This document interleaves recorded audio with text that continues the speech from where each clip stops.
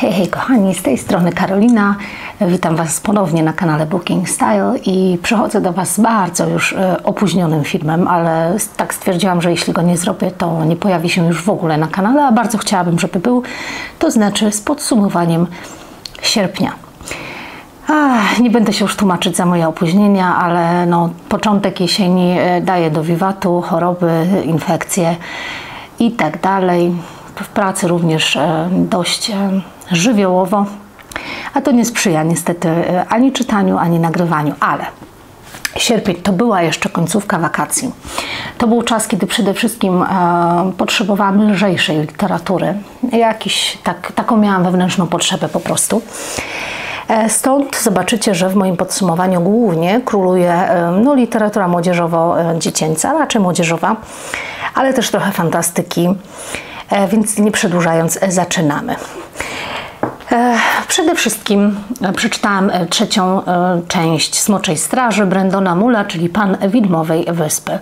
No ja nie będę oczywiście z racji tego, że to jest kontynuacja, opisywać dokładnie fabuły tej części, natomiast mamy tutaj bardziej wyspiarskie i wodne przygody naszej dwójki bohaterów, czyli Kendry i Seta naszej e, rodzinki i rodzeństwa, które ja bardzo pokochałam już od początku Boru. Naprawdę zżyłam się z tym rodzeństwem i będzie mi go brakowało, jak skończę Smoczą Straż, na pewno. No, fenomenalne są te akcje, naprawdę z tomu na tom e, pan Brandon Mull e, nas nie oszczędza, nie oszczędza swoich bohaterów e, i dla tych, którzy lubią fantastykę taką angażującą, bardzo dużą ilością różnych przygód i bohaterów, to na pewno jest to coś wartego polecenia. Ja uwielbiam słuchać tych części w audiobooku, bo pan Janusz Zaduran to po prostu fenomen.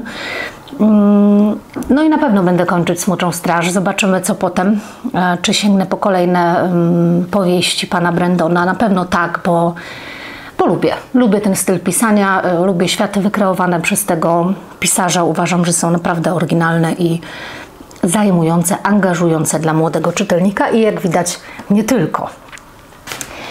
E, również kontynuowałam moją przygodę z Kwiatem Paproci. Miałam jakąś ochotę na, na, na tą serię i na to, żeby ponownie zawitać do Bielin i w sierpniu udało mi się skończyć Noc Kupały i Żerce czyli bezpośrednią kontynuację Szeptuchy. Jak wiecie, ja zaczęłam trochę na odwrót, bo zaczęłam od um, Jagi, potem była Gniewa, a potem dopiero zaczęłam od Szeptuchy i, i tych dalszych tomów, które były wydane już dość dawno temu, jeszcze przez wydawnictwo WAB. Z tego co wiem, to wydawnictwo Mięta będzie również e, wydawało wszystkie te tomy teraz w nowej, szacie, nowej szacie graficznej, żeby do gniewy ładnie pasowały. Ja prawdopodobnie zostanę przy tej starej. No chyba, że jakimś cudem uda mi się je sprzedać, ale wątpię. Noc Kupały, bezpośrednia kontynuacja Szeptuchy. Mamy tutaj dalsze przygody naszej Gosi, Gosławy oraz Mieszka, e, dalszą część relacji między tą dwójką bohaterów, no i oczywiście dalsze e, potyczki z naszymi bogami, demonami w Bielinach. E, nasza szeptucha no, jest postacią, która dość irytuje i ja nie zmieniam zdania po tych dwóch tomach. Dalej e, uwielbiam Jagę, natomiast Gosia nie zyskuje mojej sympatii. Jej relacja z Mieszkiem również. Natomiast na kartach tych dwóch e, tomów dowiadujemy się nieco więcej o Mieszku, o jego przeszłości. I myślę, że to jest jedna z ciekawszych części właśnie w fabule. E, poza tym ja uwielbiam te części no, takie typowo słowiańskie, to znaczy uwielbiam te wątki właśnie demoniczne e, związane z wizytami naszych bogów, które nawiedzają regularnie naszą Gosławę, która jest widzącą. Um, bardzo dobrze się to czyta, naprawdę bardzo lekko. To jest takie typowe e, guilty pleasure i comfort read. E, uwielbiam, uwielbiam i będę no, na pewno tą serię kończyć, mimo że ma ona swoje wady. Ja nie jestem fanką wątku romantycznego, szczególnie w tych tomach ale jakoś tak w Bielinach się rozdomowiłam, udomowiłam i bardzo jest mi tam e, dobrze pod względem literackim, więc Jestem ciekawa po prostu zakończenia tej serii i chciałabym szczerze mówiąc, żeby pani Berenika Mieszczuk wróciła jeszcze do Bielin. Z serii już takich typowo dziecięco-młodzieżowych, zaczęłam również ze swoich półek wybierać pozycje mm, no, które mi zalegają, a z racji tego, że w sierpniu był um, prowadzony maraton z literaturą dziecięcą, znowu przez Nikolę Dr. Bóg, um, przez Ole Książkowego Frika i przez Karolinę Kombuk, to ja naprawdę bardzo chętnie zawsze w tych edycjach maratonów z literaturą dziecięcą biorę udział i stąd też ta liczba e, książek właśnie z tego gatunku. Wzięłam się tym razem za e, Pages i spółka Tilly i e, Książkowi Wędrowcy. To jest pierwsza część nowej serii dla dzieci autorstwa Anny James, wydawana przez Zygzaki e, w przełożeniu Adriana Tomczyka i powiem szczerze, że byłam bardzo ciekawa, bo to jest historia małej dziewczynki, która mieszka ze swoimi dziadkami prowadzącymi księgarnię, więc sam jakby wstęp już brzmi dla mnie intrygująco i myślę, że dla większości z Was również. E, Tilly, czyli Matylda, mm, no niewiele wie o swoim pochodzeniu, niewiele wie o swojej mamie, poza tym, że mama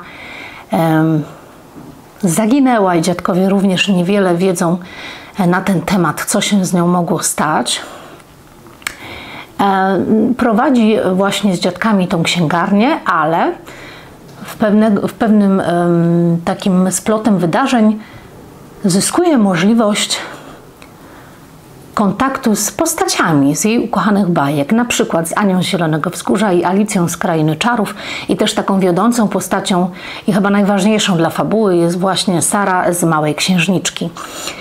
E, więc no, bardzo taki ciekawy powrót do dzieciństwa i wspomnienie chyba najbardziej popularnych i najbardziej kochanych przez dzieci powieści literatury dziecięcej. E, no i dowiadujemy się, dlaczego Tilly ma tak E, specyficzne i fantastyczne umiejętności. Dlaczego e, jej dziadkowie spotykają się w księgarni z takimi dość dziwnymi postaciami? Kim te postaci są? Jest to motyw niespotykany, oryginalny i naprawdę bardzo fajnie opisany i w sposób bardzo ciekawy. Z tego co ja wiem, ma być bardzo dużo tomów w tej serii wydanych. Ja już mam na swojej półce drugi tom a za granicą już chyba jest przewidzianych 7 zaplanowanych, więc to będzie taka grubsza seria. W każdej z części będziemy mieli do czynienia z innymi bohaterami i z innymi przygodami naszej głównej bohaterki. No i oczywiście największą zagadką dla naszej Tilly jest właśnie odkrycie tego, co stało się z jej mamą. Naprawdę polecam, y, również dla starszego czytelnika. Pozycja jest również przepięknie wydana, ma bardzo ładną wklejkę, y, bardzo takie mm, rozwiązania graficzne, taką ciekawą zieleń i na początku każdego rozdziału mamy ten sam motyw. Jest tutaj również sporo takich no można to nazwać ilustracjami. To nie są obrazki, ale takie ilustracje właśnie w kolorze zieleni. Szczerze mówiąc, nie zwróciłam uwagi, jak to jest w kolejnej części, ale wydanie bardzo mi się podoba, treść również, więc dla tych, którzy lubią i czytają, polecam literaturę dziecięcą. E, z tego samego gatunku również e, kontynuowałam moją przygodę z Frankiem i Finką pani Anety Jadowskiej i zabrałam się za drugą część, czyli Szczwane Sztuczki. Bardzo mi się ten tytuł podoba. On jest takim mm, łamańcem dla języka. E, no i nasi bohaterowie e, dalej są w cyrku dziadka i przeżywają e, naprawdę bardzo intrygujące przygody. Tym razem mają do czynienia z bardzo gwałtowną burzą, która zamienia ludzi w zwierzęta, w innych bohaterów, którymi niekoniecznie chcą się stać i mogą nimi pozostać niestety na zawsze. Mamy również postaci czarownic, e, mamy tutaj również postać ducha, więc naprawdę wiele fajnych, fantastycznych wątków pani Aneta tutaj wykorzystała. To jest tak sprawnie, tak angażująco napisane. No ja zresztą jestem fanką pióra e, Anety Jadowskiej, to wiecie. I w literaturze dziecięcej sprawdza się moim zdaniem równie dobrze jak w literaturze dla dorosłych. Uwielbiam Franka i Finkę i będę czekać z niecierpliwością na kolejne tomy e, przygód właśnie tej dwójki. E, chciałam sobie przeczytać też e, jakieś powieści w języku angielskim, bo niestety mało czytam. Nie wiadomo dlaczego, trochę się boję, mimo że nie ma ku temu jakby podstaw. No i miałam na swoich półkach pozycję pani Emily Henry pod tytułem Book Lovers. To jest jedna z e, tych części, e, z tych powieści, które jeszcze niestety nie ukazały się u nas w, na naszym polskim rynku. A wiem, że za granicą jest już zapowiedź następnej powieści z taką różową układką, bodajże Happy Place. Ja lubię panią Emily Henry. Ona pisze takie niezobowiązujące obyczajówki z wątkiem romantycznym, dość rozbudowanym. No, przeczytałam Beach Read e, ludzi, którzy spotykają się na wakacjach. Jeszcze nie, aczkolwiek mam już na swoich półkach również wersję angielskiej. I tak sobie właśnie postanowiłam, że to jest tego typu autorka, z którą mogłabym zacząć właśnie czytać e, jej powieści w wersji angielskiej, w wersji oryginalnej.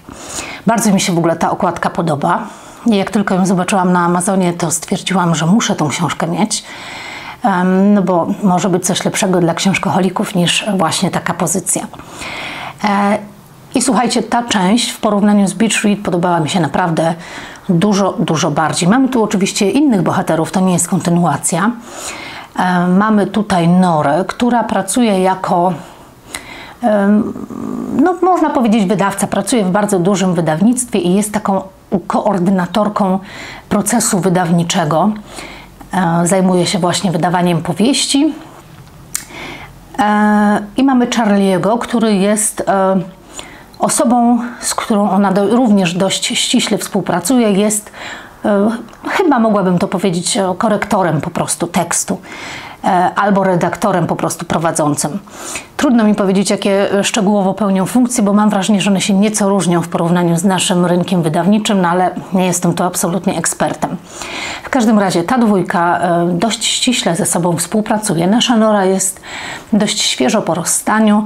Jest taką e, osobą, która bardzo skupia się na swojej karierze, bo no, kocha książki, uwielbia, to jest jej całe życie, absolutnie kocha swoją pracę i poświęca się tej pracy absolutnie w 100%, nawet w 120%. Z najbliższej rodziny ma siostrę, która jest szczęśliwą mężatką, matką dwójki dzieci.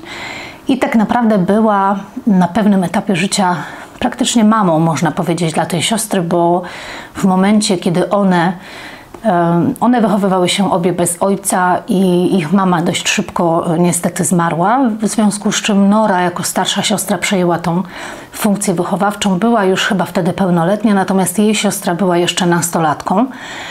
Mm, no i zaczęła pełnić funkcję po prostu mamy dla tej siostry. Ich relacje są bardzo dobre, bardzo bliskie.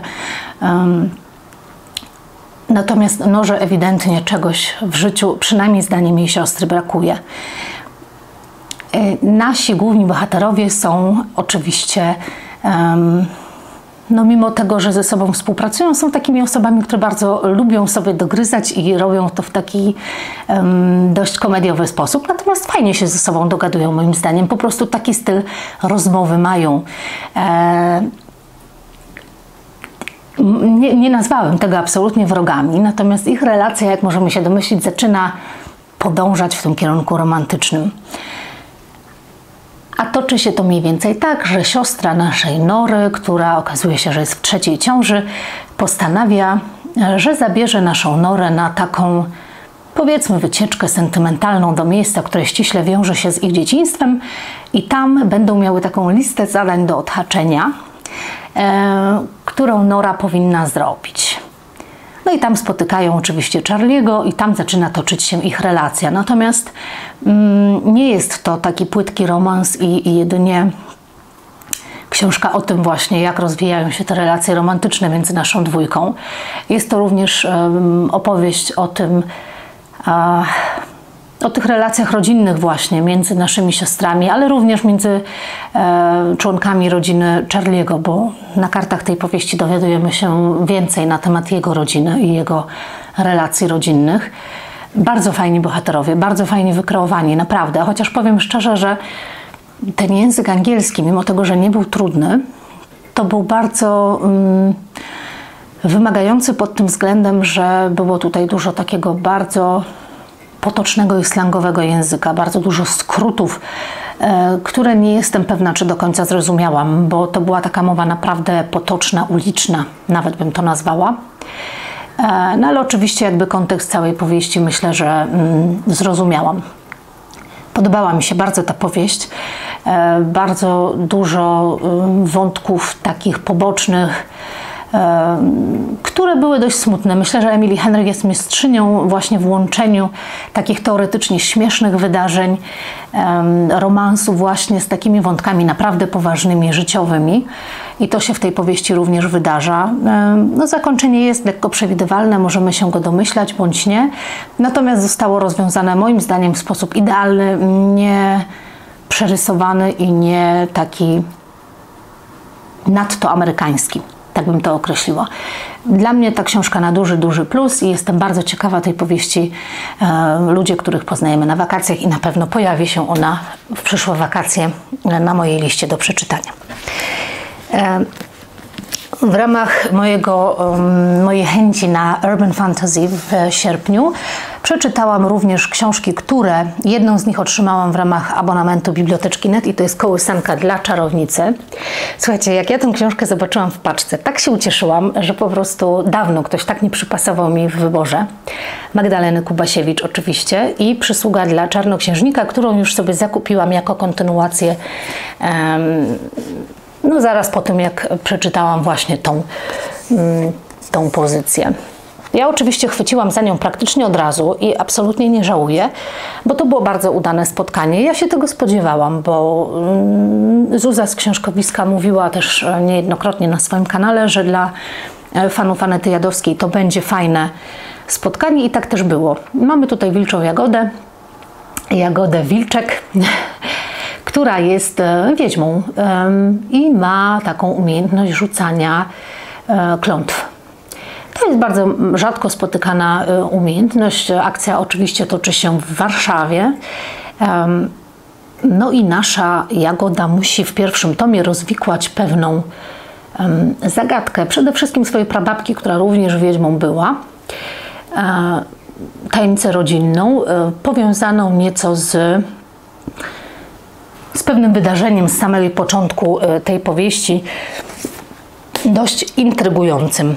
Fajnie poprowadzone, fajnie e, wykreowana bohaterka, dużo rozsądniejsza przede wszystkim od na przykład Dory Wilk e, i dużo mniej agresywna na przykład w, czy wulgarna, między innymi w odniesieniu do Nikity chociażby. To jest taka bohaterka bardzo, bardzo rozsądna. To jest taki przymiotnik, myślę, którym najlepiej mogłabym ją określić. Czasami aż za bardzo. Czasami już po tej lekturze właśnie bohater, znajomości bohaterów Anety Jadowskiej troszeczkę byłam wkurzona miejscami na tą bohaterkę, że nie ma w sobie takiej nutki szaleństwa i, i ryzyka.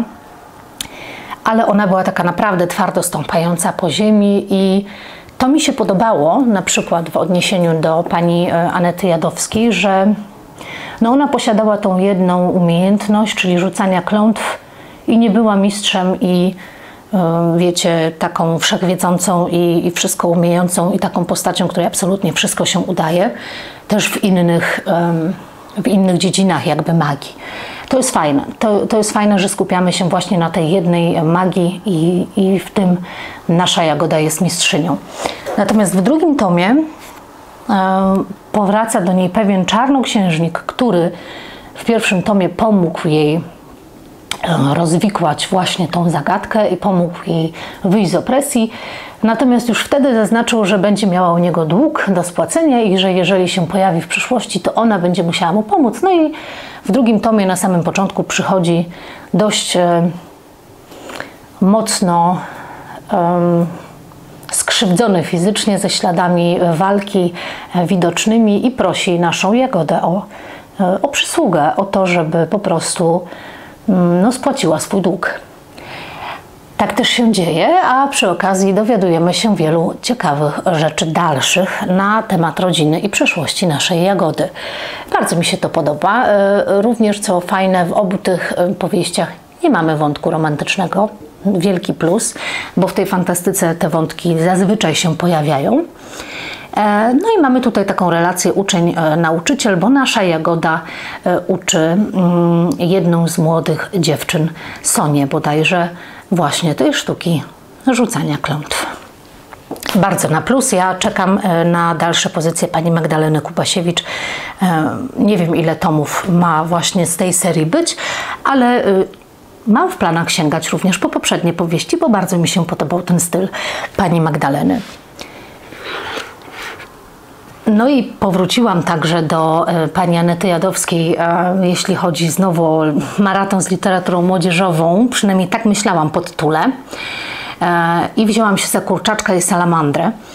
Przesłuchałam ją, słuchajcie, w audiobooku, natomiast zaraz po przesłuchaniu zakupiłam sobie mój egzemplarz papierowy, bo jak wiecie, ja jestem przede wszystkim fanką również ilustracji pani Magdaleny Babińskiej. I poza tym muszę przyznać, że ta część to jest po prostu hit. Gdybym ja wiedziała, że Kurczaczek i Salamander tak mi się spodoba, to przeczytałabym ją chyba jako pierwszą. Chociaż to nie byłby najlepszy pomysł, bo to mamy bezpośrednią historię e, Wiktorii, która jest córką Witkacego, czyli naszego szamana z serii szamańskiej i mamy no właśnie Salamandrę, czyli e, dziewczynkę, którą Dora Wilk wraz z Mironem biorą pod swoją opiekę, trudno powiedzieć adoptują, bo tych formalności jakby spełnionych nie mają, ale opiekują się tą dziewczynką. Została ona, mm, no jest to dziewczynka, którą e, dość mocno pokiereszował los, była porwana przez jednego z, z piekielników i wykorzystana do niecnych celów. Mm, no i oni postanowili, że tą dziewczynką się zajmą i pomogą jej okiełznać jej um, moce magiczne. Nasze dziewczynki się zaprzyjaźniają, chodzą do szkoły jednej.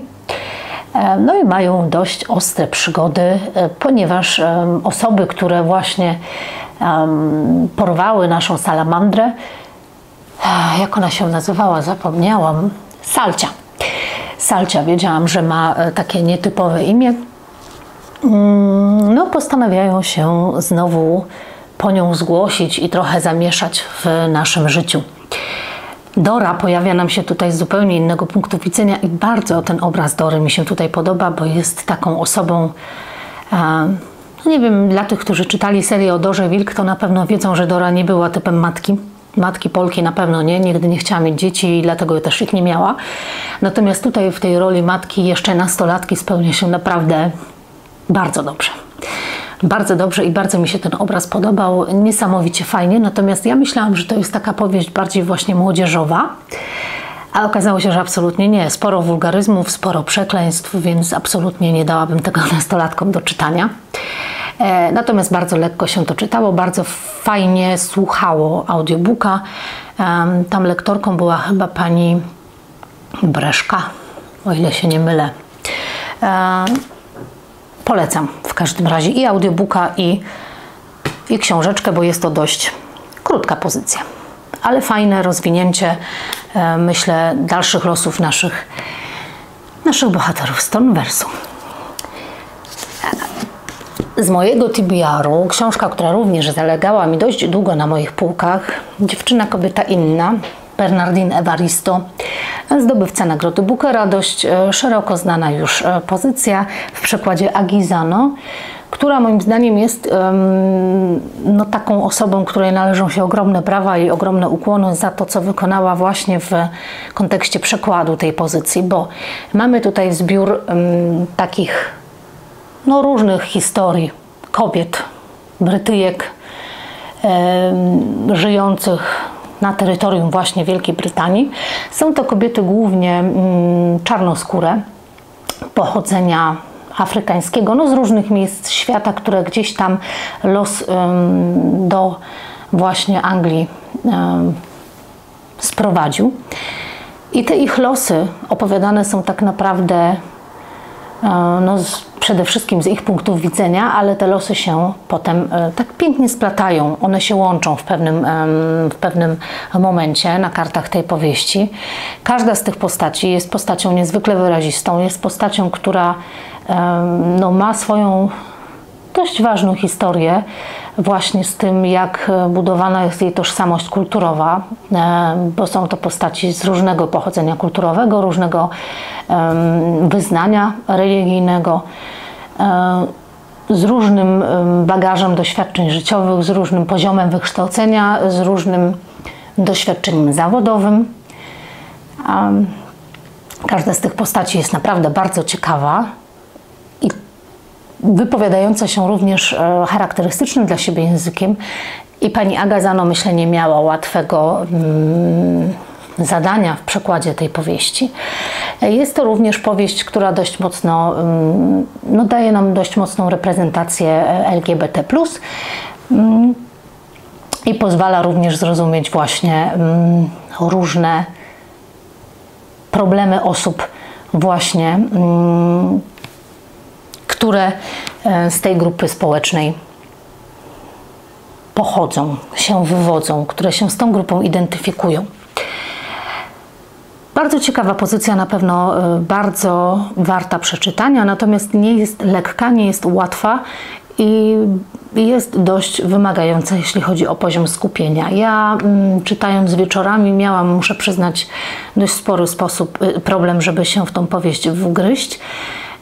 Natomiast jak już ten sposób prowadzenia narracji bohaterek zaczęłam przyswajać i się z nim oswoiłam, to naprawdę byłam wciągnięta w losy bohaterek i byłam ciekawa, czego więcej się na ich temat dowiem. Teraz wiem, że wydawnictwo poznańskie wydało y, manifest Bernardine Evaristo i również bardzo chętnie sięgnę po tą powieść, po tą pozycję. A skończyłam również trzy kolejne części Jerzycjady, czyli Czarną Polewkę, Magdusię i Sprężynę. I muszę Wam powiedzieć tak. No ja, ja kocham Jerzycjadę i w dalszym ciągu będę za to ciepło rodzinne, za te relacje rodzinne, za, za bohaterów przede wszystkim. Jednych lubię bardziej, drugich mniej. Natomiast dzisiaj już po tylu częściach, bo to była już dziewiętnasta część Jerzycjady, muszę powiedzieć, że brakuje mi tych głównych bohaterów. Jednak najbardziej zżyłam się z e, tymi naszymi najstarszymi bohaterami tej serii i losy ich dzieci, już praktycznie dorosłych, mnie nie interesują, muszę przyznać. Natomiast jest to bardzo fajna saga rodzinna pod tym względem, że no, fajnie jest się dowiedzieć, co się stało z dziećmi Gabrysi, jak sobie radziły w życiu, jakie losy ich potem spotkały. Natomiast w dalszym ciągu najbardziej interesującymi są dla mnie właśnie Gabrysia, Ida, e, Patrycja i Natalka. O Natalce jest naprawdę niewiele. Natomiast e, w dalszym ciągu bardzo fajnie się to czyta. W pewnym momencie przenosimy się już na wieś z Poznania, właśnie tam, gdzie mieszka Patrycja ze swoją rodziną, czyli Pulpecja e, i poznajemy losy różnych rodzin, z którymi losy rodziny Borejków potem się zwiążą. A w jaki sposób to już musicie się dowiedzieć na stałe. Ja w każdym razie niebawem skończę Jerzycjadę i mam nadzieję, że autorka wyda jak najszybciej kolejną część, czyli Hucherko, które ma się bodajże w przyszłym roku pojawić. I z tego co wiem, ma się e, również, mają się również pojawić e, e-booki audiobooki na Legimi, więc czekam. Czekam naprawdę gorąco. E, w sierpniu również wypożyczyłam sobie początkowo z biblioteki a potem zakupiłam swoją część. Przeczytałam również Spacerującego z książkami Karstyna Hena. E, no i już wiecie, że to była taka książeczka e, jak kocyczek, e, otulająca, milutka, cieplutka opowieść o starszym księgarzu, który po prostu osobiście dostarczał książki bardzo tak dobrane do swoich odbiorców i myślał, że te książki sprawią im radość i właśnie te książki są im potrzebne. W pewnym momencie jego los splata się z e, losami małej dziewczynki, która postanawia mu w tych jego codziennych eskapadach do, do klientów e, księgarni i biblioteki właśnie dołączyć. No i razem z nim odwiedza tych wszystkich klientów i roznoszą książki i no, uczą się od siebie nawzajem o życiu, myślę wiele, o literaturze również. I to jest taki naprawdę hymn dla y, miłości do książek i do literatury, a jednocześnie o po prostu relacjach międzyludzkich. Ciepełko i dlatego stwierdziłam, że tą książkę muszę absolutnie mieć na swoich półkach i tak też się stało. Z tego co wiem, był chyba taki reading vlog na moim kanale z tą książką, więc mm, Jeżeli tak było, to Wam go oczywiście podlinkuję. No i ostatnia już pozycja, e, po którą sięgnęłam, czekając na premierę kinową. E, głośna pozycja bestseller, gdzie śpiewają raki.